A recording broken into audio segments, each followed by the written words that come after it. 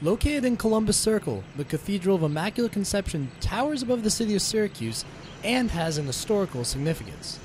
And in 1904, it became the cathedral for the Diocese of Syracuse. The cathedral was over at St. John the Evangelist on the State Street, and then in 1904, this was uh, made the uh, cathedral for the diocese.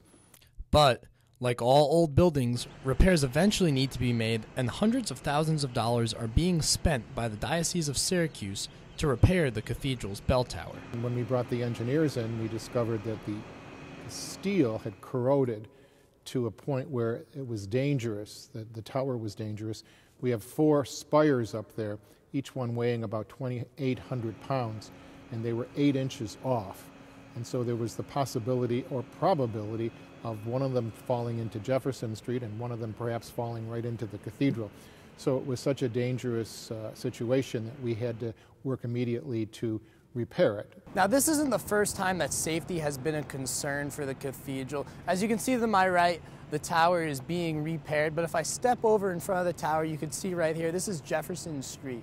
Back in 1978, there was actually a woman walking by in a snowstorm. A large piece of ice fell off of the tower and hit and killed the lady. Those attending Mass believe the construction is necessary. No, I definitely think it's money well spent. I mean, it's it's not only a uh, as the building has not only religious significance but historical significance, and it has to be fixed at some point. It's inevitable. Reporting from Columbus Circle in Syracuse, I'm Alex Bacon, NCC News.